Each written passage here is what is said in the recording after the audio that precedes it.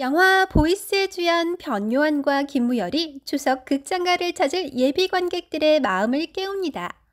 두 배우의 진정성 있는 목소리가 담긴 극장 관람 캠페인 영상이 공개됐습니다. 변요한 김무열은 영화관에서 관객들과 함께 영화를 즐길 순간을 기다리고 있다고 전했습니다.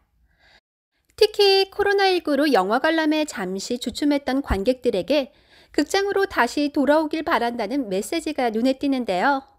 보이스 현장 making 영상과 함께 진행된 이번 캠페인 영상은 온라인과 전국 극장에서 상영될 예정입니다. 보이스는 대한민국 최초로 보이스피싱 소재를 영화화했습니다. 보이스피싱 조직의 덫에 걸린 서준이 빼앗긴 돈을 되찾기 위해 중국에 있는 본거지에 잠입해 보이스피싱 설계자 곽프로를 만나며 벌어지는 real 범죄 액션입니다. 시사회 이후 통쾌한 real 액션, 추석 필람 백신 영화 등 호평을 이끌었는데요. 보이스는 통쾌한 real 액션과 함께 거대하고 치밀한 보이스 피싱의 실체를 낱낱이 공개할 예정입니다.